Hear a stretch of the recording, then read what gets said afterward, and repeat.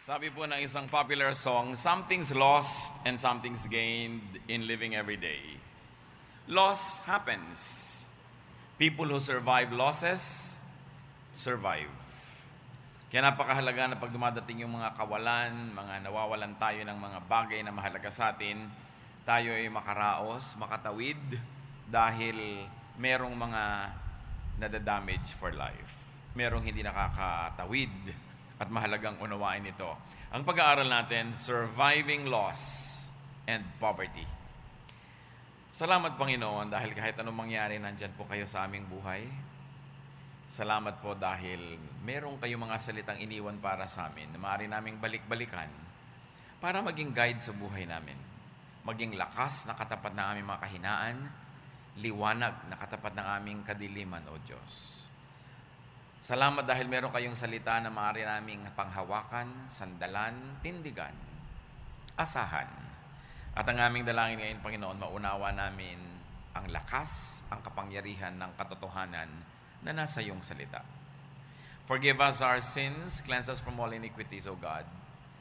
Enable us to see you face to face. Give us ears that hear, eyes that see, feet that obey in your footsteps. At nawa Panginoon sa aming pagbubulay-bulay sa mga napakawalang hanggang kahulugan ng iyong salita. Patahimikin niyo po ang aming puso, palakasin niyo po ang aming loob, palakasin niyo ang aming katawan, payapain niyo ang aming espiritu, at mabigyan namin kayo ng pansin na walang kaagaw. Be the focus of our attention, O God. Speak powerfully, mightily, gloriously, to the point that we may be healed, empowered, strengthened, cleansed by your word. We ask you, Father, to be our speaker. Use your servant only as your instrument. Bless us as we listen to you, and bless our loved ones who are not with us right now. Ano man ang kabigatan ng loob ng sino man sa aming kapaligiran ngayon, Panginoon, kayo ang magpagaan. Ano man ang mga agam-agam alalahanin sa iyo namin dinadala. Aliwin niyo kami ng iyong presensya, Panginoon, to the point that we may be transported spiritually, that we may transcend the many struggles of daily life. Lead us, edify us, complete us with your presence. In the name of Jesus, your Son, our Lord and Savior, we pray confidently with thanksgiving. Amen. Wala pong pag-aaral na seryoso tungkol sa mga kawalan at nawawala sa buhay nang hindi babalikan si Job. Ilang libong beses man nating balik-balikan ang kanyang kasaysayan, hindi mauubusan ng leksyon at inspirasyon. Because Job was the man who lost everything, nearly. Nawala ang halos lahat sa kanyang buhay, kaya sino mang nawawalan ngayon ay maaaring balik-balikan ang inspirasyon ng kanyang kasaysayan.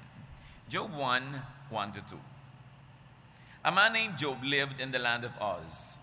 He was a truly good person who respected God and refused to do evil. Job had seven sons and three daughters. He was the richest person in the East. Kung sabi, ay si Job na naman, alam ko na yung kwento, maghunos dili kayo, hindi natin alam. Hindi pwedeng ubusin ng kaalaman, lalong-lalo sa napakahalagang kwentong ito. So Job was the man who had everything. He was good. Yung palang kayamanan na. He respected God. He had ten children na noon hanggang ngayon ay talaga namang kayamanan ng buhay. And he was the richest man in the East in his time. Ano pang hahanapin mo sa iyong buhay? He had God's highest esteem and fondness. At hindi yun PS. Yun ang pinakamahalaga. Job 1.8 Then the Lord asked Satan, What do you think of my servant Job? No one on earth is like him. He is a truly good person who respects me and refuses to do evil. Yung pag-usapan ka ng Diyos at Satanas, ikaw yung topic. Dapat talaga yung buhay mo. Mahalagang leksyon at inspirasyon sa marami. Alam natin yung kasaysayan. Sinabi ni Satan, eh kaya lang naman godly yan, binibless mo eh. Subukan mo tanggalin lahat ng blessing pag di ka sinumpa. Then Job went under a severe trial from heaven. Many people don't understand why God allowed it. God allowed it, so it must be right. Let's just take it as that. At dahil nga pinayagan niya Diyos mangyari kay Job, meron pa tayong pinag-uusapan ngayon at pinaghahanguan hanggang ngayon ng inspirasyon. So grabing dumating na pagsubok kay Job. Chapter 1, 13 to 14. Job's sons and daughters were having a feast in the home of his oldest son. When someone rushed up to Job and said, A gang of Sabaeans attacked and stole the oxen and donkeys. Your other servants were killed, and I was the only one who escaped to tell you. So ang lahat ng kanyang mga alagang donkeys at mga oxen, mga baka at mga kamag-anak nito, ay nalipol, ninakaw ng mga masasamang loob, pinatay pa ang mga nagbabantay na tagapag-alaga at isa lang ang nakatakas para magbalita kay Job. Job lost all his oxen and donkeys and servants in one day. And you think you've had enough? Verse 16. The servant was still speaking when a second one came running up, saying, God sent down a fire that killed your sheep and your servants. I am the only one who escaped to tell you. Yung isang disaster galing sa isang direksyon, gawa ng tao, yung sumunod galing sa kaitaasan, at sabi ng servant, God sent it from heaven. Kung ano naman ang daming uulan, apoy pang umulan, at natupok ang pagkarami-raming mga tupa. Naubos lahat, pati ang mga tagapag-alagang katulong, isa lang ang nakaligtas para lang makipag, makapagdala ng masaklap na balita. In the same day, Job lost all his sheep and servants. And you think you've had enough? Verse 17. Before the servant finished speaking, a third one raised up and said, Three gangs of Chaldeans attacked and stole your camels. All of your other servants were killed, and I am the only one who escaped to tell you. From another direction comes another news. Ninakaw naman ng isa pang pangkat ng mga masasamang loob ang mga kamelyo. Ubus lahat, pinatay pa ang mga nagbabantay na katulong. How do you process such grave loss? What did Job lose? Let's take a look at what Job lost. Job lost all his wealth, including the servants who were primary wealth, considering their value. Akala nyo yung palang, naubos lahat? Para kang nasunugan, na nakawan, na hold up sa isang araw. Job 1, 18 to 19, The servant was still speaking when a fourth one dashed up and said, Your children were having a feast and drinking wine at the home of your oldest son. When suddenly a windstorm from the desert blew the house down, crushing all your children. I am the only one who escaped to tell you hindi pa pala sapat. Apat na direksyon ang pinanggalingan, dalawang galing sa tao, isang galing sa taas, isang galing sa hangin from the desert. In other words, this is terror from every side, attacking everything that meant something to Job. Ang nakakapagtaka yung asawa niya, hindi na-attack. Natira yung asawa. Sabi niya, meron pong biglang masamang hanging umihip mula sa kaparangan, tinamaan ang bahay na pinagpipigingan ng inyong sampung anak. And of course, understandably, pati mga asawa at mga apo niya yung nandun, gumuho ang bahay, natabunan po lahat sila, Job lost all his children, the unkindest cut of all. Wala siyang panahon para ipagluksa yung isang nawala, may kasunod agad, dugtong-dugtong, sunod-sunod na dagok ng buhay. This loss is beyond imagination. It is beyond comprehension. Wala pa tayong alam na tao na dinanas ito lahat, lahat, lahat. Liban sa kanya, o kung may mga ilan-ilan mang alam kayo, ano ang pinagkaiba nun dito? Job 1, 20 to 22. When Job heard this, he tore his clothes and shaved his head because of his great sorrow. He knelt on the ground, then worshiped God and said, We bring nothing at birth, we take nothing with us at death. The Lord alone gives, and takes. Praise the name of the Lord. In spite of everything, Job did not sin or accuse God of wrongdoing. Crushed by sudden, tragic, devastating loss, Job worships God. Yung iba may headache lang, hindi na nagwo-worship. Yung iba nawalan lang ng papa, nagtatampo na sa Diyos. Yung iba nalugi lang sa negosyo, biglang ayaw na mag-Bible study. Job worships. Job lost so much. But we must never forget to look at what Job did not lose. Job did not lose perspective. God and his relationship with God was his true wealth. Hindi na wala yung linaw ng isip niya dahil hindi naman siya nalito kahit kailan kung anong tunay niyang kayamanan. Diyos at ang maganda niyang relasyon sa Diyos. Bago pa siya nagkaasawa, nandun na yung relasyon niya sa Diyos. So mawala man ang asawa niya, masakit, pero nandun pa rin ang relasyon sa Diyos. Bago siya nagkaanak, close na siya sa Diyos. So magkaroon man siya ng anak at mabawi man ang anak, hindi na iiba ang relasyon niya sa Diyos. Bago siya yumaman ng pagkayaman-yaman, nandun na ang kanyang pananalig at nandun na ang Diyos. So bawian man siya, alam pa rin niyang bigay lang yon. Hindi siya nagdamdam, sa halip nagpasalamat siya na kahit paano nakahiram siya ng kayamanan na maraming taong ipinanganak tumandat na matay na lang, di pa nakahiram. Job did not lose his gratitude to God. Yung kanyang pagtanaw ng utang na loob ay hindi niya nalimot kahit masakit. Nasanay na siyang mayaman, nasanay na siyang may mga anak, mag adjust siya, pero nagpasalamat pa rin siya sa Diyos. Hindi dahil namatayan siya o nawalan, kundi kahit paano, nakaranas siya ng pagpapala na yon sa buhay. Job did not lose his faith and his submission to God. Sabi niya, kung anong kalooban ng Panginoon, siyang masunod.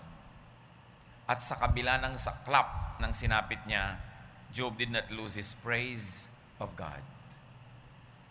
Nagpuri pa rin. Hindi nagpuri dahil namatayan, hindi nagpuri dahil naghirap, nagpuri dahil at least once upon a time, naranasan niyang maging ama ng maraming anak at naranasan niyang maging mayaman. Yung iba naman kasi, nagtataka ka. Nagpapasalamat po kami at kinuha na ng Panginoon ang aking ama, ang aking ina. Yung pa ang sasabihin sa mga funeral services, may mga kamag-anak sila hindi nagba-Bible study. Kaya sabi talaga ng mga kamag-anak talaga, okay, magba-Bible study, nakakasira ng ulo yan. Ba't mo naman ipagpapasalamat? Di ba? Kung minsan, OA ka na. Talaga namang malungkot, aminin mo. Pero ipagpasalamat mong minsan, nagkasama kayo sa buhay. Minsan, meron kayong mga ligayang tinamasang sabay-sabay. When faced with overwhelming loss and sorrow, worship of God is the only sensible and natural thing to do. Mga kapatid, gusto ko itong idiin pag meron tayong naranasang biglang kawalan, biglang nawalan tayo ng mahal sa buhay, nawalan tayo ng minamahalaga natin sa buhay, bago kayo matukso ni Satanas na magreklamo, magalit, magdamdam, sumamba kayo sa Panginoon. Sasabi mo, sasamba pa ako? Eh, nawalan na nga ako. Nawalan ka na nga pag nawala pa yung pagsamba sa'yo, ano pa lalong natira sa'yo? Pag nawalan ka na ng tao, nawalan ka na ng kayamanan, Diyos talaga ang kayamanan mo. Lalo mong pahalagahan. Lalo kang kumapit at lalo mong diinan ang iyong pananalig. Kasi yun na lang ang natira sa'yo. Yung iba na dadaya ni Satanas, yung kaisa-isang pwedeng kapitan, bibitaw pa, magagalit pa, magtatampo pa sa Diyos. Tapos naman magpapakalungkot-lungkot, maglalasing, magdadrugs, lalala. Napakahalaga ipanalangin natin na maging automatic sa atin na pag nawalan, magpasalamat. Kumisan kasi sobra tayo nasasanay sa mga hiram, pag nabawian tayo, galit tayo. So laging aalala, salamat po nakakahiram ako ng relasyon. Salamat nakakahiram ako ng bahay. Salamat nakakahiram ako ng negosyo. At bagamat ayaw mong mabawian, kung sa kalooban ng Diyos ay pinayagan niya, sumamba. It's your only wealth left. Do not allow Satan to take that from you. Kita nyo, natanggal ni Satan sa kanya yung kanyang health, yung kanyang wealth, yung kanyang mga mahal sa buhay, pero hindi natanggal yung pananalig because it's strictly between you and God. Ikaw ang magpapasya kung tatanggalin mo yon. Satan cannot get it from you. It is your decision. It is your call. When overwhelmingly devastated, people may complain, be bitter, lose faith in God, rebel against God. But what good will it do? Sige, magtampo ka. Lumayo ka. Huwag kang mag-worship. Huwag kang mag-Bible study. Huwag kang mag-pray. Eh ano naman ang mabuting gagawin sa'yo nun?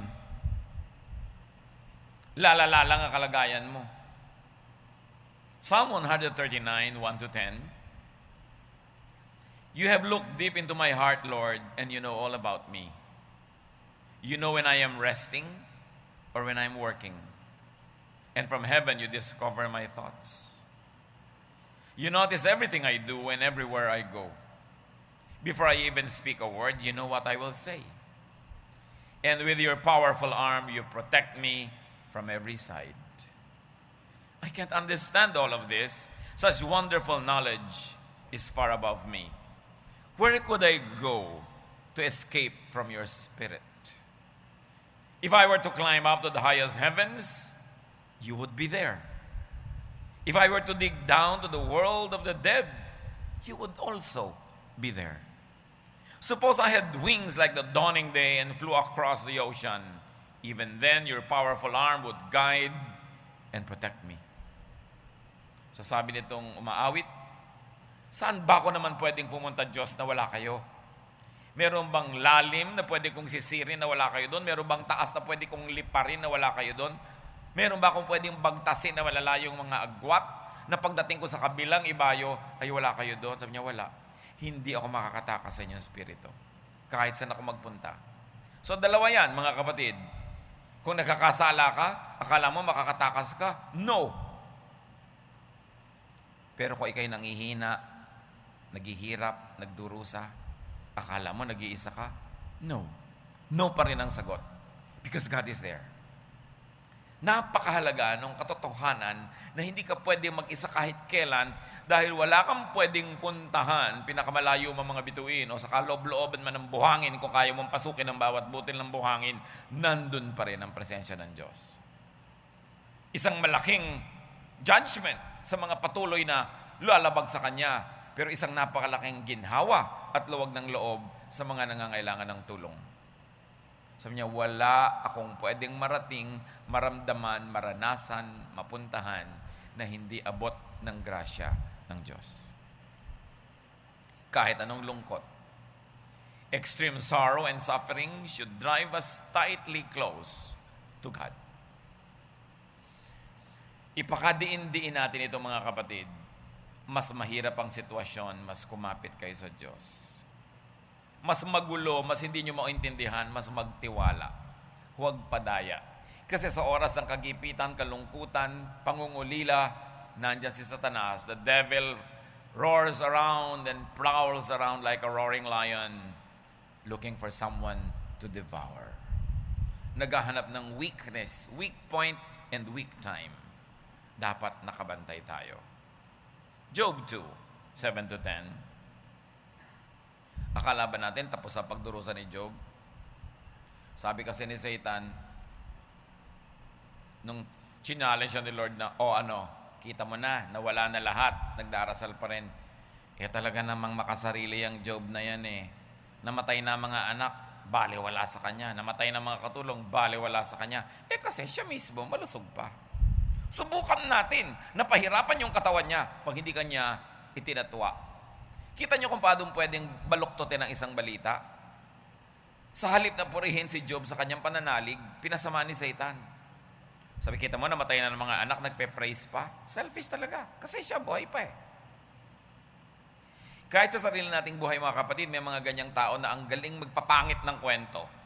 Pag nakinig ka sa kanya, magagalit ka sa biyanan mo, sa kapatid mo, kahit kanino, pagka siyang nagkwento.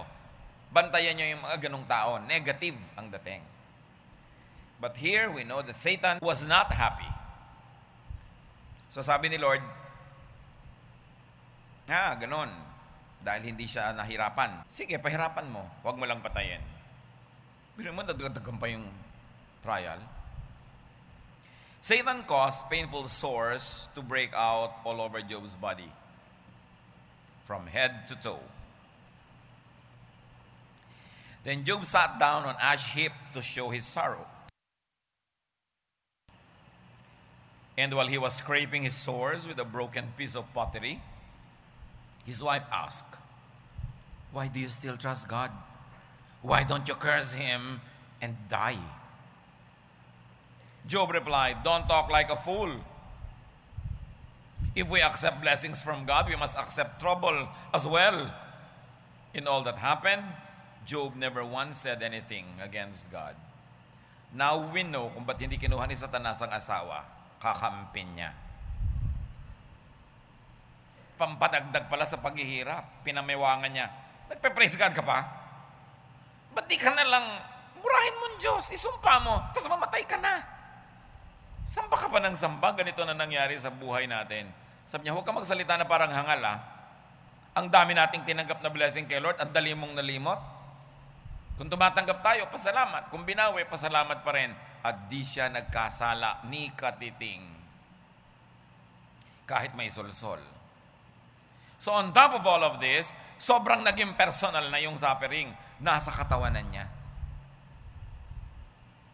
Job lost his physical health and strength. But his spiritual strength was what mattered. Kung minsan sobra natin pinapalakas yung katawan natin, binibigyan mo ng supplement, vitamin, exercise, kung ano-ano. Pinapaganda mo yung mukha mo, yung katawan mo, yung damit mo. Huwag mong kakalimutan yung kaluluwa. Kasi pag binawian ka ng lakas ng katawan, ganda ng katawan, ang matitira talagang mahalaga, ganda ng espiritu at tibay ng pananalig.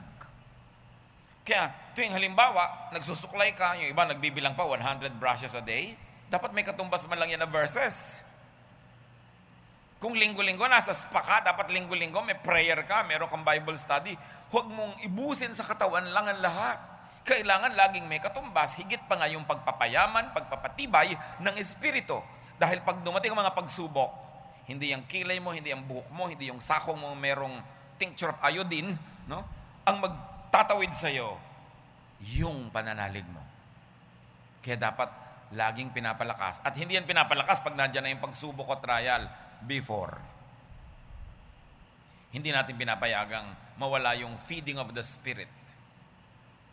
Job lost his stature in society. Lahat ng mga kaibigan niya naglayuan, pati mga katulong niya ayaw siyang pakinggan pag tumatawag siya.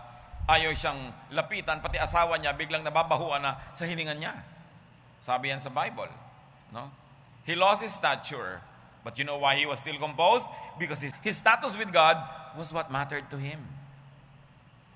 Mahalaga sa kanya yung pagpapahalaga ng lipunan, pero higit na mahalaga sa kanya yung pagtingin sa kanya ng Diyos. At alam niya, hindi yun na iba, kaya matibay pa rin siya sa kabila ng lahat. Job lost his wife's respect and sympathy and faith in him. Job lost his friends and so much time.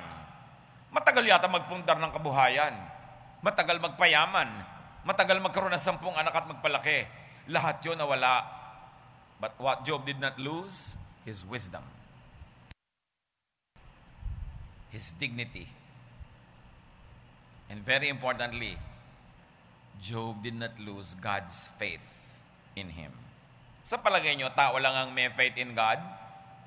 No. God also has faith in people. Kaya sabi nga ng Panginoon ko Satan, nakita mo si Job? Aba, walang tulad niyan ha. Mahusay na tao. Mahusay lang man, binabless mo tanggalin mo yung blessing pagka hindi kanyan tinang, tinatanggi.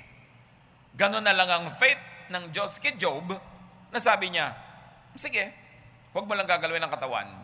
Kasi alam niya eh, hindi bumigay si Job.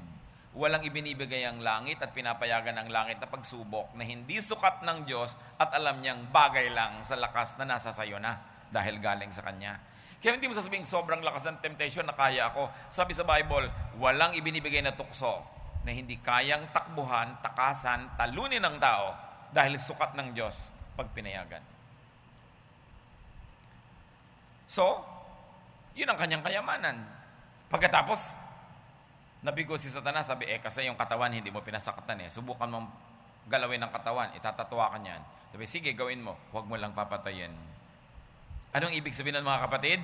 Huwag mo lang papatayin?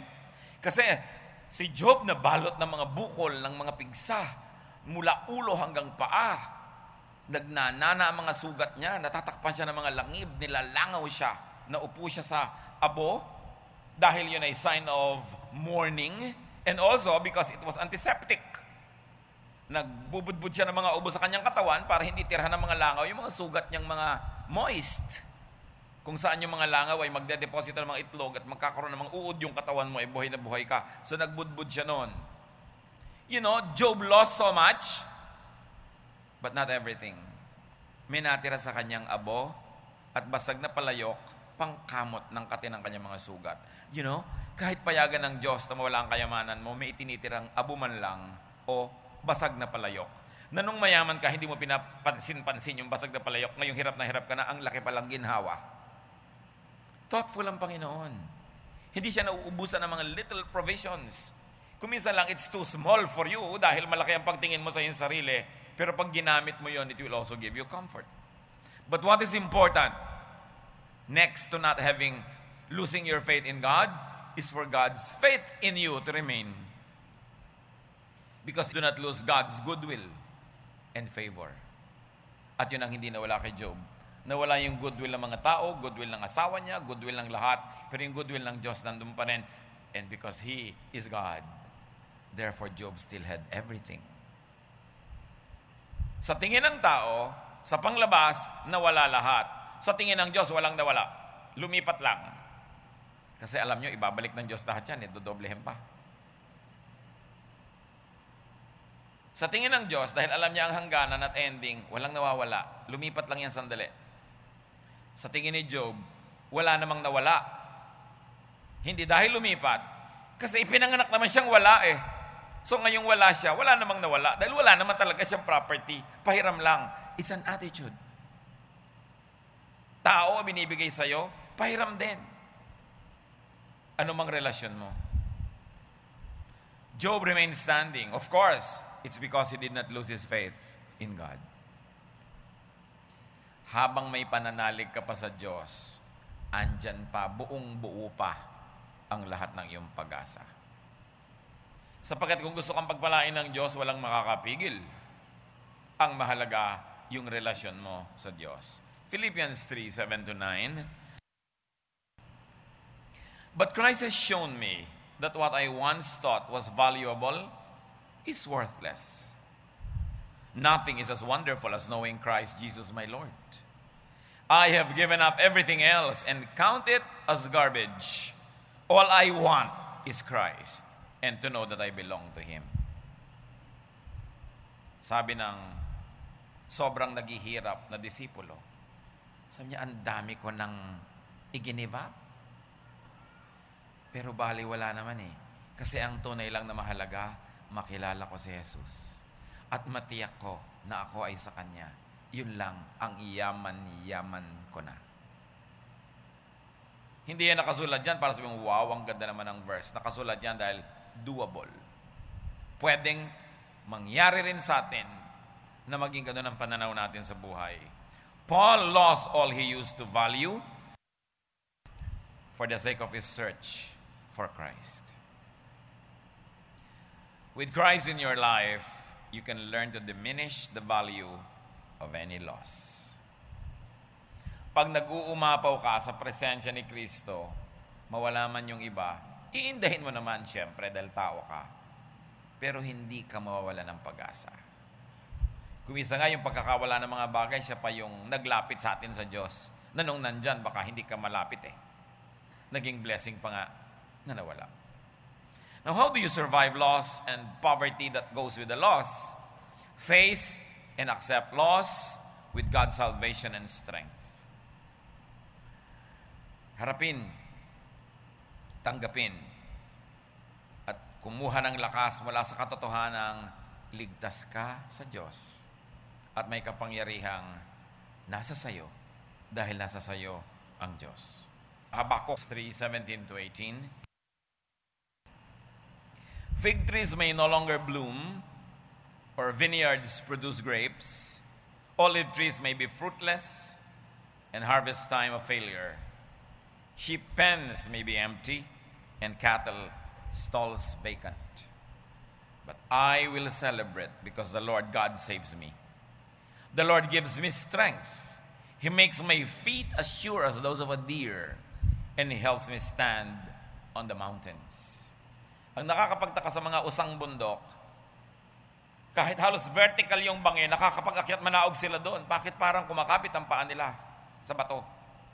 At sabi nito sa, hi, sa Habakkuk rather, 3:17 to 18, kahit anong mangyari, hindi man mamunga ang mga puno, mawalan man ang laman ng mga kulungan ng hayop, basta ako sa Diyos at ako'y magdiriwang dahil siya ang aking katatagan.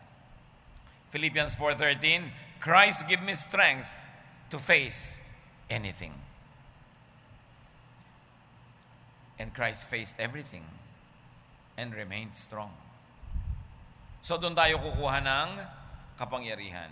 Dahil kung pati ang kamatayan ay nalampasan at napagtagumpayan ng Diyos, ano pa kaya ang hindi pwedeng lampasan ng sa Kanya ay susunod, magpapasakop?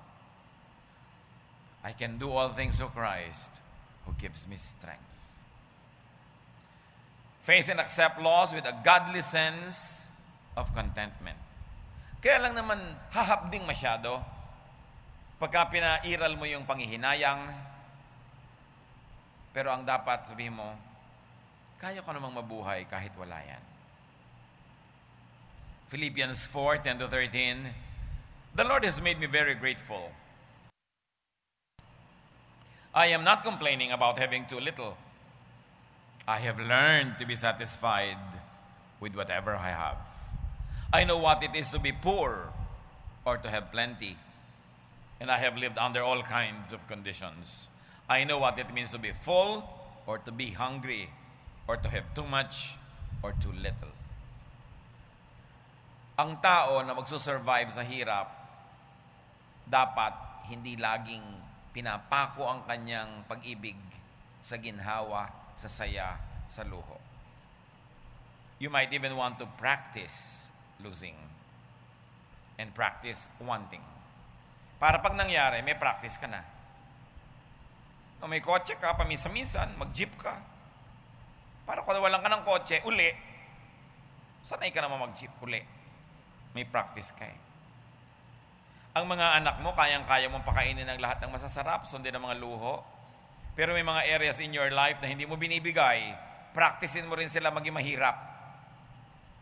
Para kung sakali man, huwag naman sana, at naghirap, may practice. Kaya pa ulit-ulit sinasabi ko yung turo ni Balagtas. Sapagkat ang mundo'y bayan ng hinagpis, mamamayay sukat tibayan ng dibdib. Ang laki sa tuway walang pagtitiis, anong ilalaban sa dahas ng sakit. Kaya sabi niya, masaklap ang bunga ng maling paglingap, habag ng magulang sa irog na anak. Pag pinalaki sa luho, sa sarap, e paano kung hindi na maintain ang yaman? Mahirap, marupok, eh ganyan pa naman siyempre, mga magulang, mapagmahal, kung lumaki ka sa hirap, lumulusong ka pa sa balon para kumuha ng tubig, sumasalok ka pa na may mga buteteng tubig mula sa mga kung saan saan. Siyempre, nung nagkaanak at may pera ka, filtered water. Diba? Uh, kung ano-ano pag mga water ngayon, di ba? Siyempre, kung nung araw, lagi kang pinapapak ng mga lamok, gagamba, mga kulisap, aircon ng mga anak mo ngayon. Gusto natin kasi maginhawa sila. Pero kung talagang mahal nyo sila, practice nyo pamisa-misa mahirapan. Huwag naman mahirapan sila at dumating uli sa hirap yung pamilya nyo. Pero kung dumating yon, hindi sila igugupo, hindi sila magigiba dahil may inoculation. May bakuna. Alam niyo ba yung bakuna? Ang itinuturok sa iyo, mikrobyo. Ang itinuturok sa iyo, yung sakit.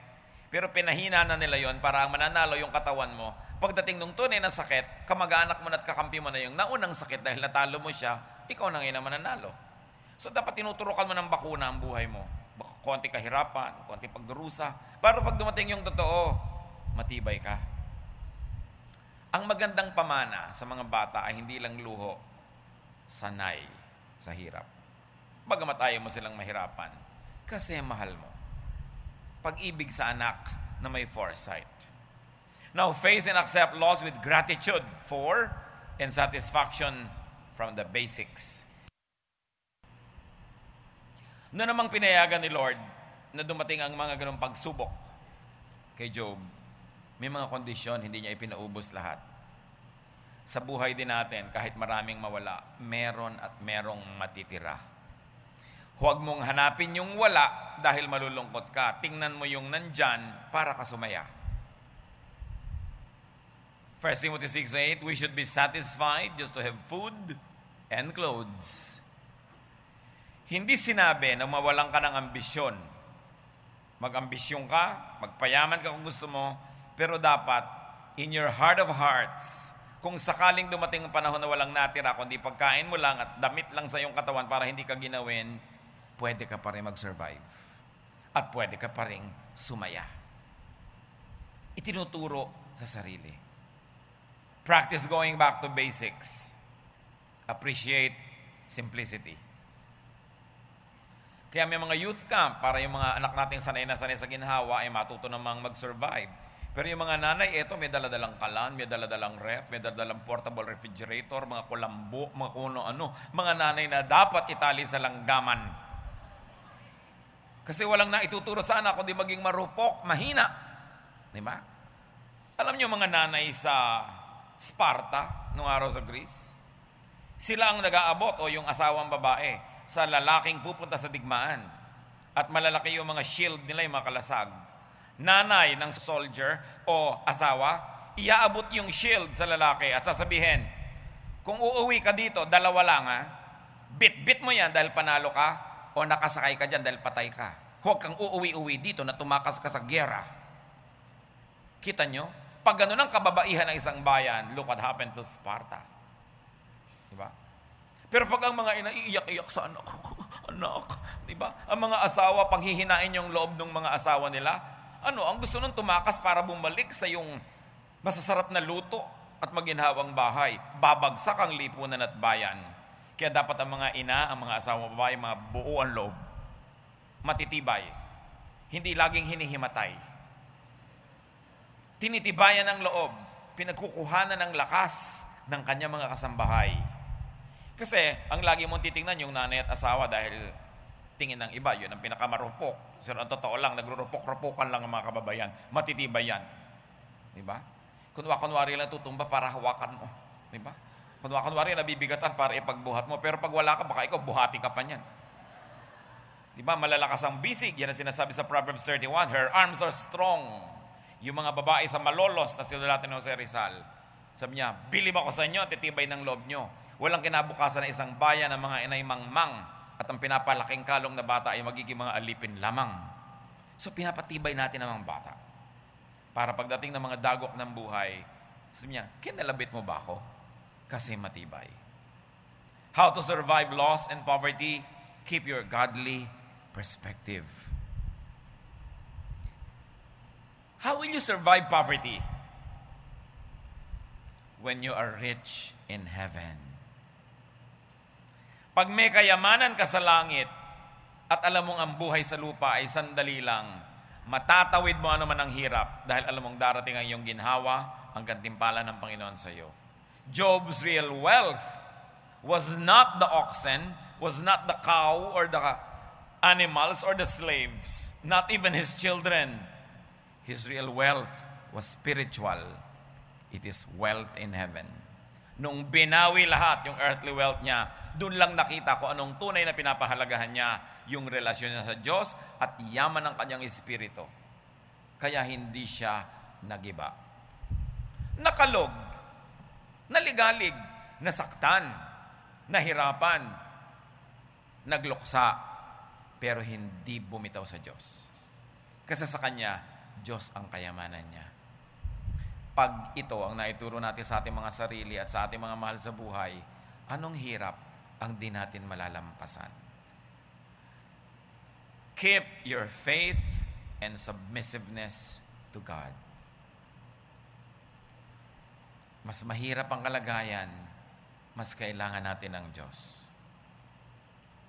How to survive loss and poverty? Praise God No matter what. Kahit anong mangyari, praise God. Do not let gloom pull you down more deeply. Psalm 42:11 Why am I discouraged? Why am I restless? I trust you, and I will praise you again because you help me and you are my God. So pag nababalisa ka, nalulungkot, teka, bakit nga ba? Magtitiwala ako sa Diyos. Dahil siya ang Diyos ko at siya'y tutulong sa akin. Praising God could be the only way to keep your balance. Pag sobra ka ng lungkot, negative. Sobra ka naghirap, negative. Sobra kang nabigo, negative. Paano mo gagawing positive? Lagyan mo ng praise. Pagpupuri sa Diyos para mag-balance. Eh pag nagalit ka pa sa Diyos, nagtampo ka pa, negative na naman, lulubog ka masyado. Alam natin ang kwentong ito, ni-restore ng Panginoon si Job, bumalik ang kanyang kalusugan, nadoble ang kanyang kayamanan, at humabang sobra ang buhay niya, nagkaanak pa siya ng sampu na naman, na higit pang magaganda kaysa nauna. At nakita niya ang kanyang kaapu-apuhan sa katalatalampakan, mga apo niya sa ingrown, inabot din niya. Ang haba ng buhay niya. Pero, hindi naman lahat ng kasaysayan katulad ni Job. Pero meron tayong pwedeng pagbasihan kung bakit tayo pwedeng magtiwala sa Diyos sa kabila ng lahat. God restored Job. We are not God, but we can be God's instrument in restoring people. Lalo't alam nating mabuting tao, makadiyos, inabutan siya ng mga dilubyo sa buhay, tulungan natin makabangon. Nagamit tayo ng Diyos. Tulungan natin guminhawa ang kalooban, tulungan natin lumakas ang loob, guminhawa ang katawan, gumaling ang mga sugat. Tulong yon dahil sabi nga nila, weather-weather lang yan. Hindi mo alam kung ikaw si Job bukas o ikaw yung instrumento ng Diyos para tumulong kay Job habang hindi ikaw yung Job be God's instrument to help people. Huwag kang manguusig ng mga taong nahihirapan. Sa mga, makasalanan kasi kaya nagkakaganyan. Don't ever be tempted to say that because you're becoming a judge. Pag may naghihirap, hindi ka man agree sa kanya, ipanalangin mo, be an instrument of blessing. Ngayon sa mga buhay natin, siguro may mga job, milder than this. Bihira naman kung mayroon pang sasagad pa kaysa kay Job ipanalangin natin sila. Give them practical help. At kung kayo itong dumaranas sa mga naranasan ni Job, yung Job na may Diyos, tulad nyo rin may Diyos. Yung Diyos niya, Diyos din natin ngayon. Panahon lang. Lampasan mo lang ang dilim ng gabi. Lampasan mo lang ang hapdi ng iyong sugat dahil maghihilom din. Trust God. Continue to praise God at habang nauubusan ng kanang dahilan para magpuri sa Diyos, lalo kang umimbento ng pagpupuri para hindi ka matalo ng tukso. Ang gusto ni Satanas, hindi ka pahirapan lang. Ang gusto niya, gamitin yung paghihirap mo para ilayo ka sa Diyos. So kahit maghirap ka, hindi pa rin siya nagtatagumpay habang hindi mo siya binibigyan ng tagumpay na ikaw mismo ang lumalayo sa Diyos. At mailampas mo lang yon, tatapos ang pagsubok mag-glorify ang Panginoon at kung loloobin niya, pakadoblehem pa niya ng higit kaysa dati ang pagpapala niya sa iyo. Hindi man niya doblehin, hindi man ibalik yung mga nawala, eh wala ka naman talagang dala nung pinanganak ka, so anong problema mo? Magpasalamat ka pa rin. Kahit hindi ang ending mo ending ni Job, pareho lang kayo ng beginning, wala kayong dala, at pareho lang tayo pinagpapala ng Diyos. Ama namin, kahit ilang beses namin balikan ang kwentong ito, hindi ito nabibigo na kami turuan, palakasin, paliwanagan, patibayin. Salamat po. Salamat merong isang Job na dahil nanindigan, dahil gumawa ng tama, at wala siguro siyang malay na hanggang ngayon, magiging inspirasyon siya ng marami. Salamat for the way you have held him up, for the way that you have lifted him for the way that you have helped him. Dahil alam namin, Lord, gagawin nyo rin sa amin kung ito ang marapat at kung ito ang tinitingnan nyo na dapat mangyari. Sa aming mga kapatiran ngayong dumaraan sa pagsubok, turuan mo maging matibay, manalangin, huwag mawawala ng pag-asa, magpuri sa iyo, hanapin yung mga natira mga blessing, tulad ng basag na palayok, tulad ng abo, bigyan namin ng katuturan at kahulugan at pakinabangan namin. Huwag naming maliitin ang natira kahit ang daming nawala. Dahil ang totoo ay kaya naman naming mabuhay sa pinakakonte. Kahit sa minimum. Nasasanay lang kami sa sobra. Panginoon, sa mga kapatid ngayong magiginhawa, masasarap ang mga buhay, ituro mo sa amin kung paano palalakasin namin mga sarili para kung dumating ang ganito mga pagsubok, meron kaming paghahanda. Of course, our prayer, Lord, is nawa ma-exempt kami sa mga ganito. Wala namang tao magva-volunteer na siya dumaan sa pagsubok. Pero ang dalangin namin, kung sakaling loobin nyo, lagi nawa na maging malinaw ang aming isip, kumapit ng matibay sa inyo, humanap ng ipagpupuri, at gumamit ng mga natira dahil hindi naman pwedeng mawalan. At sa aming may mga ginhawa sa buhay, turuan mo kami, Lord, tumulong sa mga nagkakaroon ng Job experience namamatayan ang mga mahal sa buhay, naghihirap sa buhay, nagkakaroon ng mga sakit. Huwag mo nga nawa kami makita kahit lihim na natutuwa kung kami galit sa mga taong yan. Bigyan mo kami ng pusong malambot, maunawain, maawain, na kahit parang kaaway namin yung mga nagdurusa, may we be agents, O Lord of peace and love. At hindi lang namin sila ipanalangin, makatulong pa kami in a practical way. Pagbulay-bulayan natin mga kapatid sa ilang saglit, ang mga personal pangkahulugan sa inyo ng napakagandang kasaysayang ito. Ama, teach us, strengthen us, empower us through this story.